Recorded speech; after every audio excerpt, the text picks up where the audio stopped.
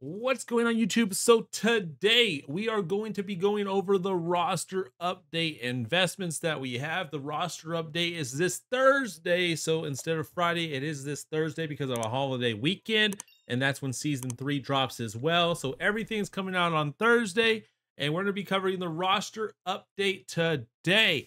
So let's go ahead and look into who we are invested in for this roster update just probably like two or three days before the roster update. So honestly, I'm probably just gonna hold off on these guys. I'm not gonna probably sell any of them. I'm just gonna hold them and hope for the best.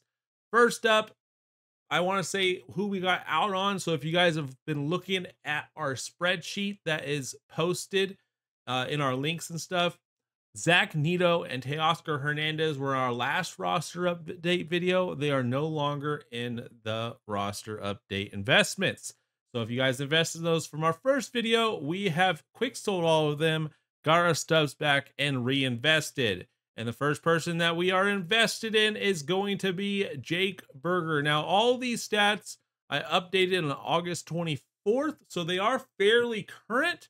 They're not completely current, obviously. Today is the 26th. You're probably seeing this video on the 27th, but they are still pretty current. So Jake Burger, when we look at his stats, let me go over to my spreadsheet. I have it written down. He has 10 hits versus lefties, batting 313 with seven home runs and an ISO of 688. Against righties, he's got 21 hits, batting 309 with six home runs and also an ISO of 309. So when you look at his stats, very low contact versus lefty, power could see a boost we got him at 30 stubs. Right now, he's 72 to 350 stubs. Honestly, at 350, if you could sell some of them off at 340, I don't mind doing that because I don't see him getting a plus six to gold. And since we got in on him at 30 stubs, if he goes to a 75, it's profit for us. Now, I wouldn't invest in him any longer. Obviously, with these later roster update videos, this is basically do you keep him or do you sell him? Jake Burger is definitely either a hold or a sell right now at 340 stubs. Obviously, don't quick sell him. He's definitely worth more than that. But if you got Jake Burger early in the investments, definitely sell Jake Burger right now at around 340 stubs. Don't see him going gold this update. A plus six is unlikely, but he is definitely going to get upgraded, in my opinion. Next up is going to be Vladimir Guerrero Jr. Now, obviously, he's already a diamond. However, I do expect him to go up to at least an 86, but hopefully higher. Now, we have him on our spreadsheet twice. So if you guys have access to the spreadsheet, why do we have him twice? Well, we invested in him in two different times. The first time we got him, we got him around 3,100. The second time we got him, we got him around 3,300. And that's where we got out on Zach Neto and we got out on Teoscar Hernandez and we reinvested stubs into Vladimir Guerrero. So we have roughly around 271, actually, no, around 200, right? Yeah, 200 of him. So we have 200 Vladimir Guerreros or 271 Vladimir Guerreros. I don't know exactly which one's which on how many we have. I know we have some buy orders on them as well. So I don't know if those are going to go through, but definitely think he can get upgraded. Let's go over his stats real quick. 11 hits versus lefties, batting 478 with three home runs and an ISO of 565.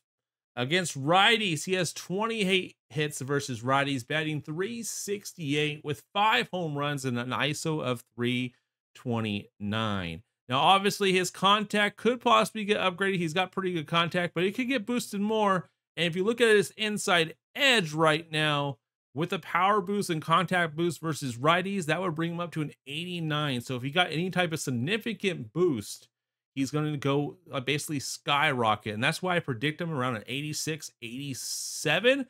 Could go to an 89, but I think an 86 and 87 is a good floor for him. If he reaches an 87, he quick sells for 4,500 stubs. So you can make a huge investment even now if he goes up to an 87 if you get him at 36 but we got him at 33 to 3100 that's what i would recommend so if you got him either sell him for 43 which you're going to get back around 3900 or just hold him and hope for the best which was that's exactly what i'm going to do Not going to sell him. We're going to hold Vladimir Guerrero Jr. and hope that he goes up to an 87 to make the most amount of stubs possible. To get an idea, if he does go to an 87, we will make around 400,000 stubs in profit and make about 1.1 million in total. Now, another guy people have been asking about, I'm not invested in, but we are going to be going over him just real quick because he has been kind of playing hot. I just don't think his price is worth it. He also just got supercharged, so brought his price up even more. And that's going to be Jackson Merrill or Merrill. I don't know how to say his name. But he's got four hits versus lefties, batting 267 with one home run and an ISO of 200. He's got 24 hits versus righties, batting 324 with five home runs and 378 ISO.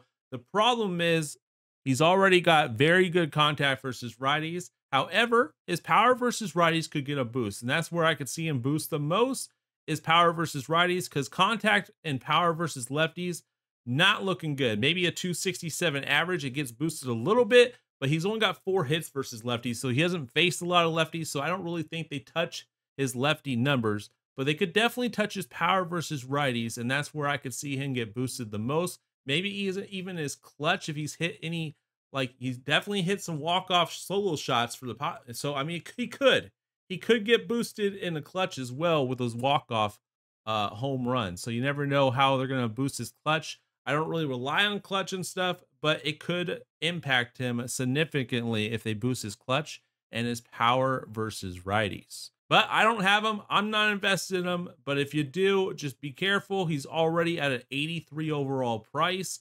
So he would have to go to 84 overall for you to make any stubs. But if you invested in him early, I still think he could possibly be a sell right now. So you don't have to risk it. Or you could risk it and hold. I think he's a, a risky hold right now. All right, next up in today's video is another big investment that I have, and that's going to be Blake Snell. Let's look at his numbers real quick. Pretty solid 3.69 hits per nine, 14.4 Ks per nine, 0.3 home runs per nine, and 2.9 walks per nine. Could definitely see a walks per nine boost, obviously a Ks per nine boost, even a hits per nine boost. I think he's a solid plus one, if not a plus two to an 83. Could he get diamond? He very well could get diamond. I just don't like to take that. He's a risky diamond play, but I think a safe like plus one, maybe even a safe plus two. His price 900, so he's basically almost predicted to go to an, an 82.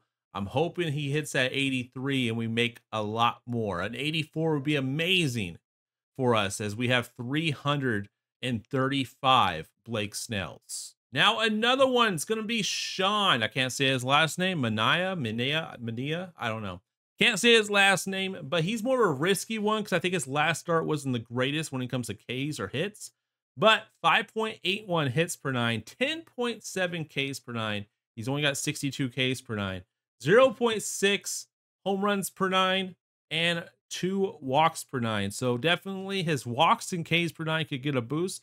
Does his hits per nine give a boost with a 5.81? I do not know, but I think his Ks per nine and walks per nine could get a boost. And the reason I like him, I know he's a 75, but like I said, these were early investments. We got him at quick sell value. Quick sell value for a 75 is 50 stubs.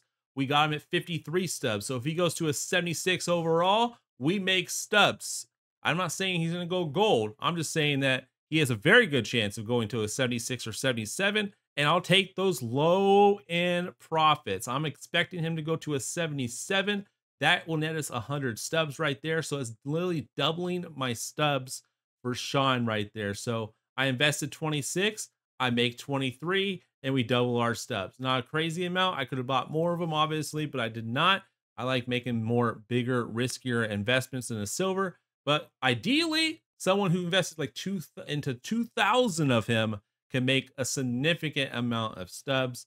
I think he goes to a 77 in this roster update. And last but not least for this roster update video, we gonna have Bailey Ober? Uber? No, it's gonna be Ober, right? Ober? Ober? I don't know. But we got Bailey. Here we go. 4.36 hits per nine, 9.5 Ks per nine. So I know his last start kind of ruined his Ks per nine. It was close to Blake Snell at like around 12. Now it's 9.5. Uh, 0.5 home runs per nine and 2.5 walks per nine. This might be one of the riskier one because of his Ks per nine, but he's also only got 66 Ks per nine. He's got decent walks per nine. Hits per nine is lower than Sean's, but higher than Blake's, so it could get upgraded. But Ks per nine is where we want to see him. Ks per nine is where we want to see him get like a plus 10 to Ks per nine would be kind of nice, or a plus five at least. I see him going 82. That that's what I'm kind of predicting. I think he goes 82. He might not. He might not move at all. In that case, hopefully he has a good next three weeks for the next roster update because I'm not selling him.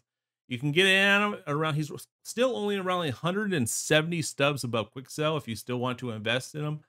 So it's not a bad investment because if he goes plus one, you still make profit. Do you make a lot? No. But if he goes plus two, plus three, that would be where we're going to make a lot of profit. We got him, I believe, at quick sell value Close, close. We got him around 710 stubs. So we got him 100 above quick sell. That's why I'm holding them. If I sell them, I'm pretty much just breaking even if I sell them at 800 stubs. So we're going to go ahead and hold them and hope for the best. Another big investment, 318 of them. That's 600, no, that's 213,000 stubs that we invested into Bailey. Obviously, Vlad is our biggest investment. We invested 1.5 million stubs just into Vlad. So if Vlad does not go up, we are uh we're gonna be sad. We're gonna be sad. I don't think he goes down though, so I think we'll be okay. But if he doesn't go up, I'm still gonna be very, very sad. But that is the roster update. Obviously, I don't give you guys details on other players. I only give you guys details on who I'm actually invested in. Because if I go out and give you details on everyone, that's kind of dumb in my opinion. If I'm not investing myself, why would I tell you to invest? That's the way I look at it. I give you guys who I'm invested in, not who I think you should invest in or who I'm lying about. Oh, go invest in this guy, even though I'm not doing it. That's that's so two faced. It's unbelievable. But anyways, if you guys did enjoy the video, subscribe, turn notifications on, comment down below if you guys have any questions. If you guys have any other players you guys want info on, put them in the comments down below over on the YouTube side. I'll see you guys in the next video. Thanks for watching.